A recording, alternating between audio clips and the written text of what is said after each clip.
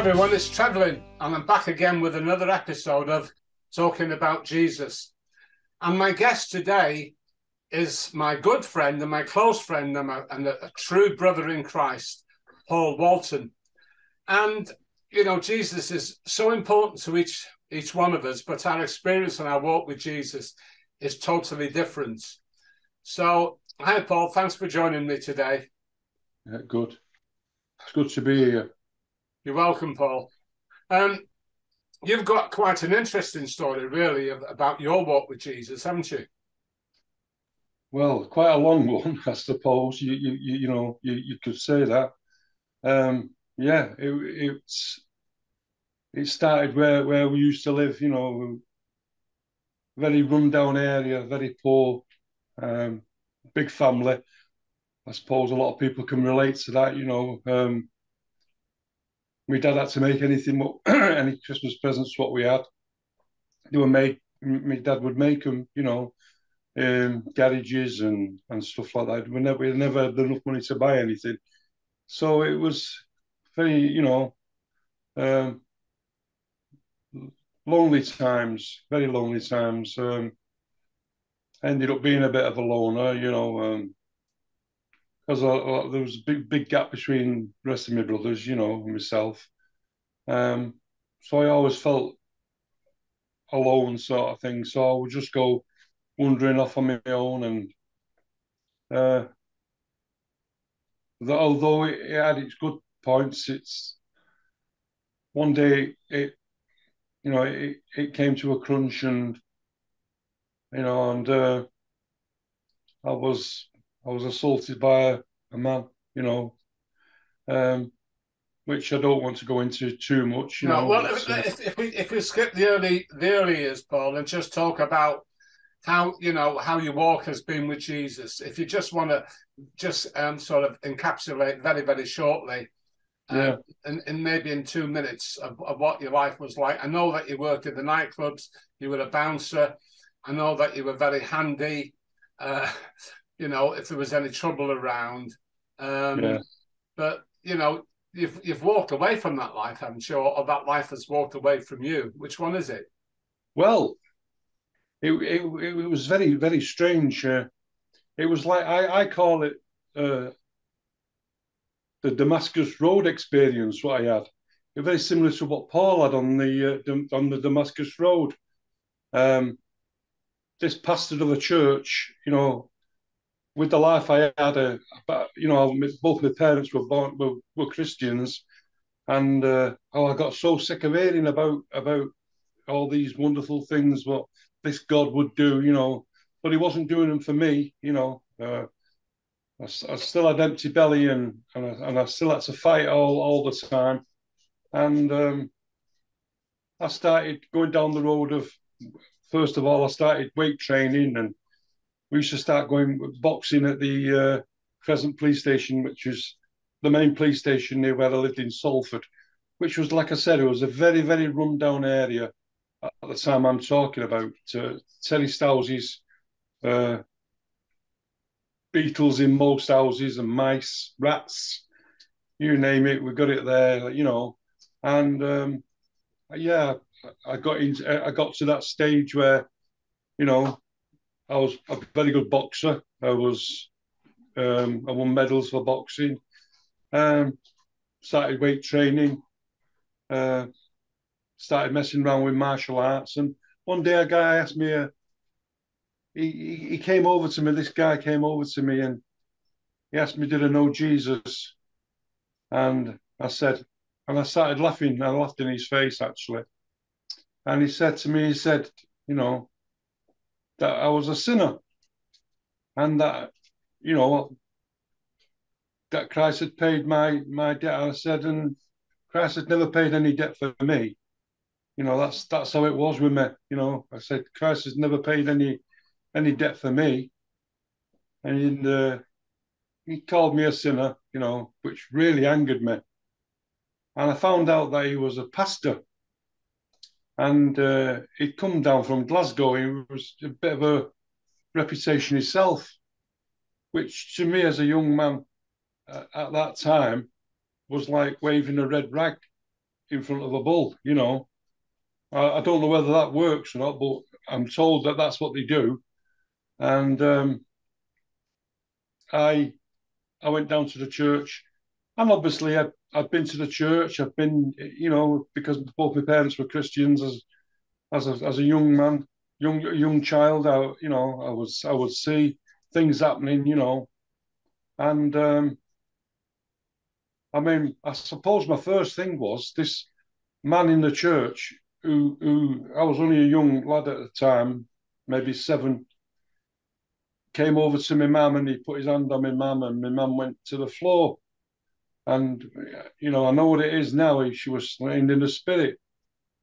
But as a young young a young lad, uh, you know, this was my mum and someone was hurting her.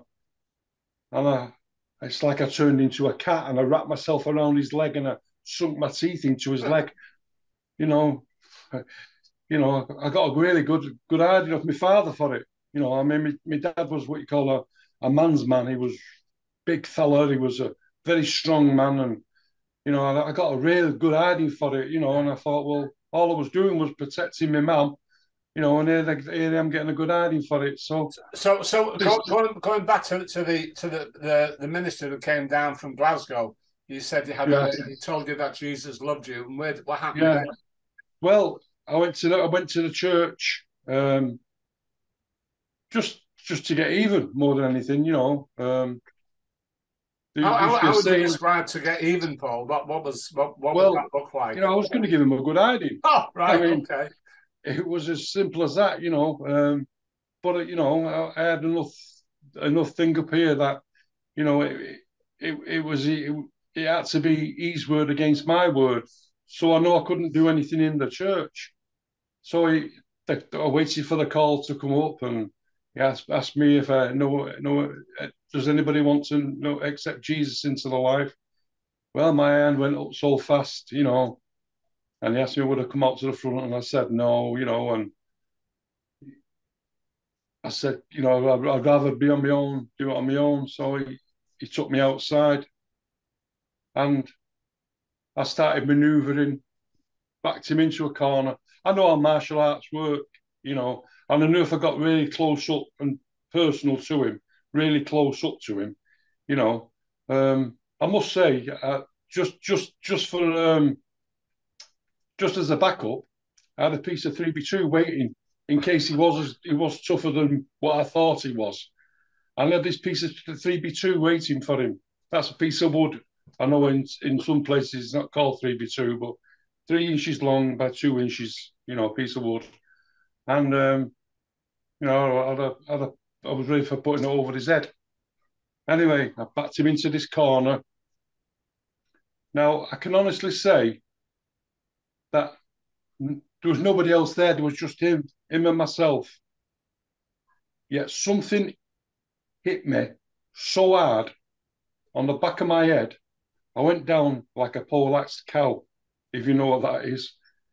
You know, I hit the floor so hard, boom.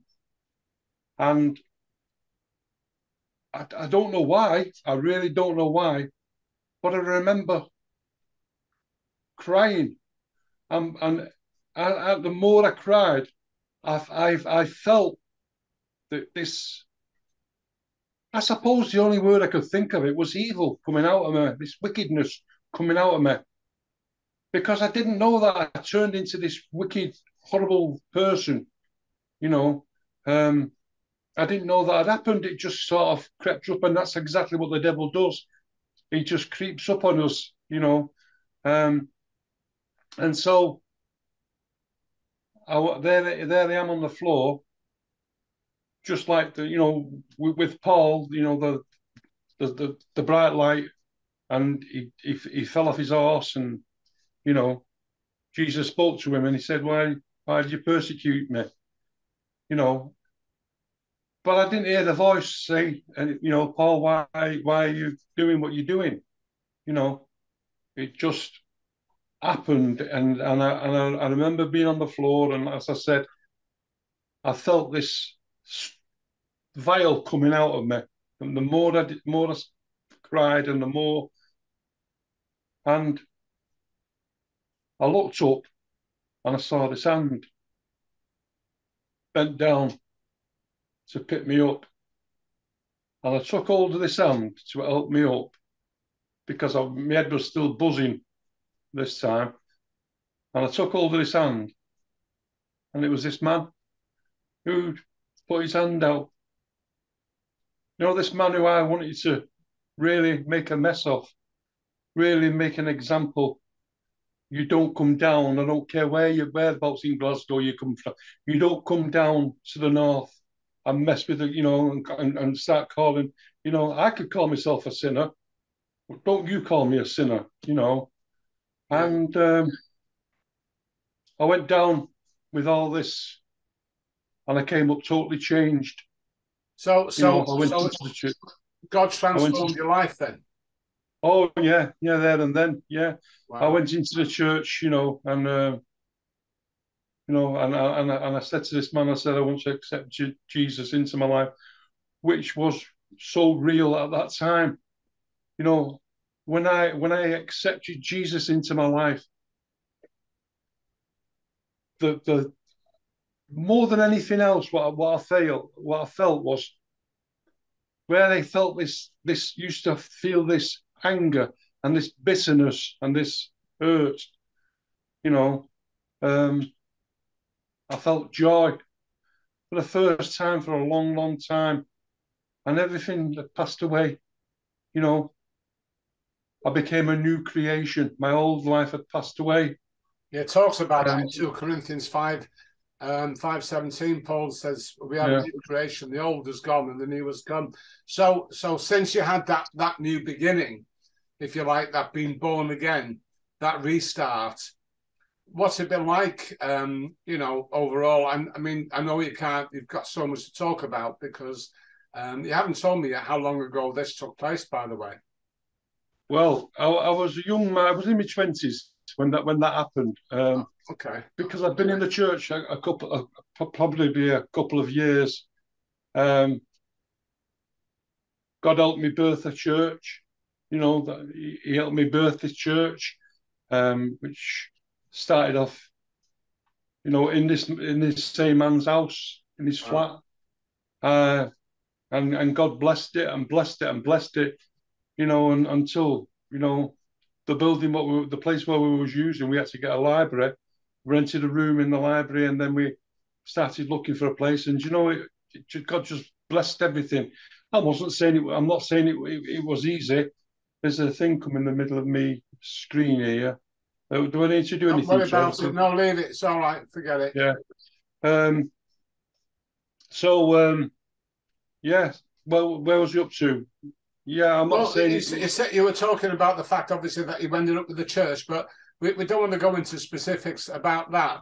What's mm. what's your life with Jesus been like since? I mean, you know, well, in all those years as a Christian and believing in what happened and seeing the change, you know, in what way did your life continue to change, Paul? If if I if I was to say, oh, my life has been fantastic and, and brilliant and and everything's gone right and rosy, I'd be telling lies. You know, like everybody else, you know, Jesus said, he said, you know, he never said that we wouldn't have trials, and he never said that we wouldn't have tribulations. You know, steel, you know, uh, which have, you know, steel has to go through the fire. And as it goes through that fire, it changes and it gets its strength and so, yeah, I've been through the fire a few times. Maybe a lot of your, a lot of these people here would be able to relate to that, you know. But God allows us to go. You know, God never causes things to happen for us. He uses things, what happens in our life, to strengthen us, to build us up, you know. And um, yes, it, but would I have? Would I? Would I? Would I go back? no chance, no way. Uh, what I've got now, what I have now, is much more. You know? It was like winning the lottery. How I would imagine winning the lottery, you know, because I know, I know that I know that I know that my Savior lives, and that one day I'm going to see my mum and dad, I'm going to see my brothers and my, my, brothers and sisters who have gone on. You know, um, I'm going to see my lovely wife. You know, uh, she's she's here with me now, but you know, we're we're never going to be parted. Amen. You know, uh, and he, he, he, told me um, because obviously, like I said, I've known him for for quite a few years. You told me that the Lord many many many years ago told you to buy a guitar or mentioned uh, um, about yeah. being um, yeah. in, a, in, a, in a group. Can you can you just very briefly? I, I, was I was 27 years of age at that time. Not long ago, then, Paul. Okay. Not long ago. Yeah. yeah. A bit too long ago, like you know, I was good looking lad then. was um, yeah, I, I was 27 at the time, and um, I was in the church doing some work in the church which is what I used to do. I used to do a lot of work in the church. Uh, I did all the roof and uh, replastered it and just things, you know, in the in the church. And uh, it was during one of those things when I was in the church, you know. I I had this vision, and I saw myself in this vision. I saw myself on a platform playing the guitar now, I don't play guitars. I didn't at that time. I did not play the guitar. You know, um, so time went by. Uh, we we had just, we raised our children, my, my, wife and myself, and you know, my wife, my first wife passed away, and I was left on my own with to to to, to bring these children up, which, which I did. You know, brought them up in with the with the right way. About playing the guitar just seemed to just go, you know. It was a thing, and I, and I, and I thought, well, if God's going to birth this, and if God's going to bring this to, to being, you know, I'm not going to try to work it anything. God doesn't need my help, you know. God doesn't need me sticking me my my piece in and saying, well, Lord, you said you give me this vision, and, and you know. But so, did God did God let, let you down at all on that? Did, you know, did He fulfil that which He promised you? Well, when I when when when I come to re- retirement age of sixty six, I retired when I was sixty six, and uh, I was sitting in the house one day, and just out of the blue, just like that, just out of the blue, I heard this voice, not a, not a outside voice, an internal voice and he said to me, Go and get your guitar, Paul. And I said, What? Where did that come from? And I said it again, Go and get your guitar. So I went round to our local, at the time, which was our local guitar shop, and I saw this guitar, which they had there. Should have been, I think it was at the time, I think it should have been about £500 which was a lot of money. And um, well, to me it was anyway. It was five hundred pound, and uh, been reduced to three hundred pound. Wow! In a sale, bargain. I thought, wow, I'll get this. Some, you know, and I, so I got the guitar on my credit card, and I got an amplifier, and I got a bag for it, and all the, all the all the stuff that I would need you know, what I thought would need. And uh, thought, what do I do now? So I ended up and I thought, well, I've got to start to play this guitar. Now the only the only tune I could play was bring. That was the only thing I could do. Bring, but but bring. But, but no. moving forward, Paul, you actually play now, don't you? And the, and your wife really plays along with you as well, doesn't she? She does, yeah. So God uh, fulfilled His word. Yeah. So so we looked around and um, to, to, for someone to to to, We're not to just to play the guitar, and you know where this is where I say I ran before God. I took over the reins or thought I did. And you know what it did? It ended up costing me, I think it was about altogether £400 what we paid out in lessons, about £400. with the with two different um, people who were supposed to be learning us, and the only thing what I what I could play after after all this was, uh, which was it? it was a Johnny Cash um, Ring of Fire. I fell into a ring of fire.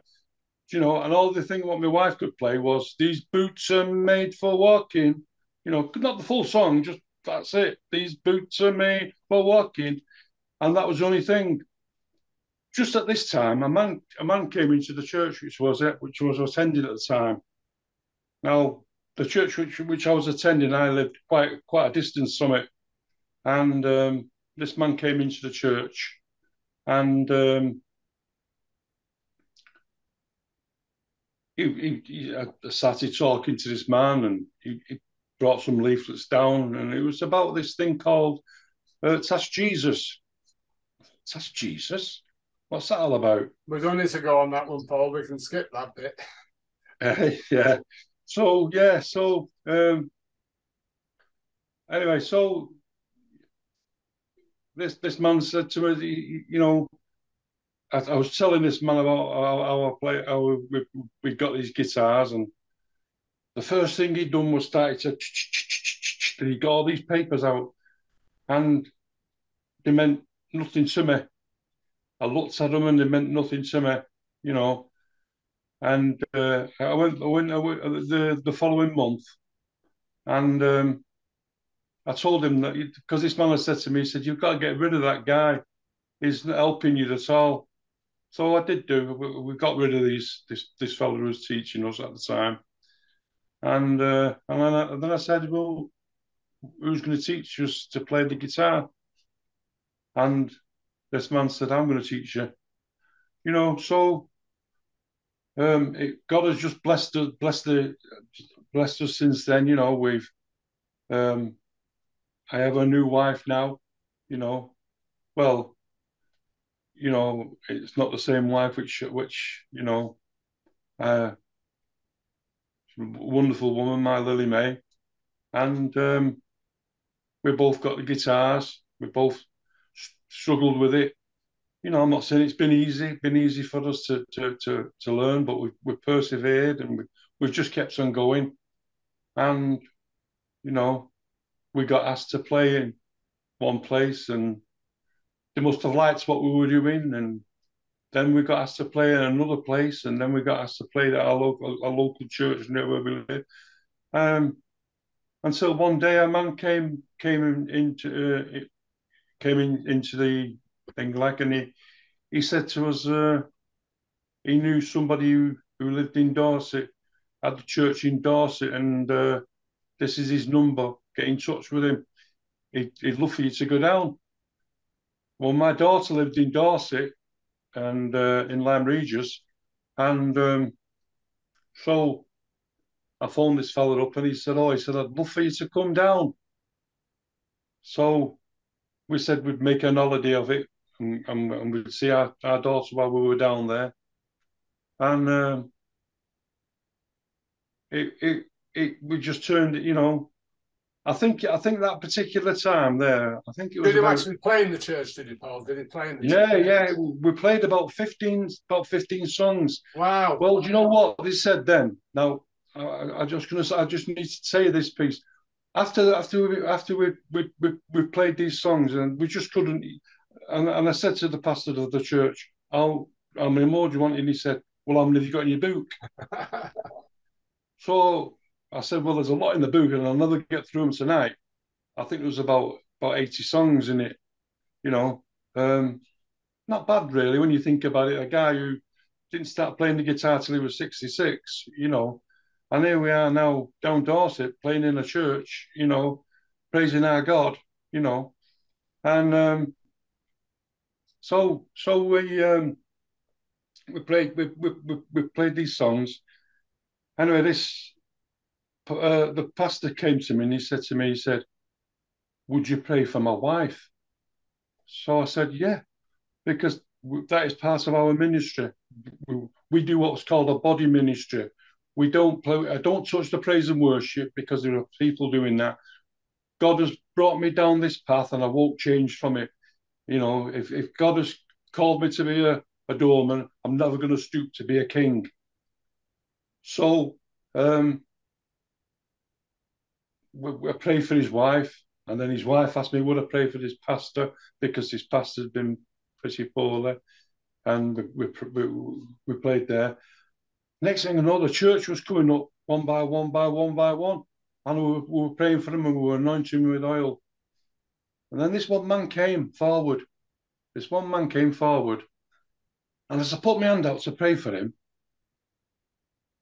I felt someone put their hand on my chest and pushed me back.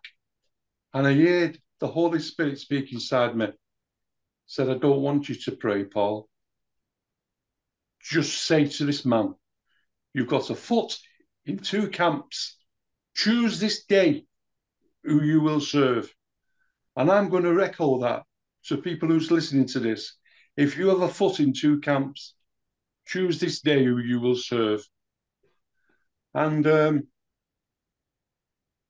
so I did this, didn't know nothing about anything. The pastor came to me and he said to me, he said, Has somebody said something to you about, and he said his name. And I said, No. I said, No, nobody said nothing. He said, I have to tell you something, Paul. He said, I believe God is speaking to me. And he said, For three years, three, excuse me if I start filling up with this because it's quite emotional. He said, For three years, we've been praying for the salvation of that man. He said, You see him now, and here he is a Christian. But in the morning, he'll have, he'll have all his Muslim stuff on. He'll become a Muslim. He'll sit with the Muslims and he'll do, you know, and he, and he, and he says the prayers with the Muslims and, you know, not that is not that I'm speaking against Muslims in any way, shape, or form. I'm not. No. I am saying what this man was was um, Doing, yeah. you know yeah. what was happening in, in, this man's life. Yeah.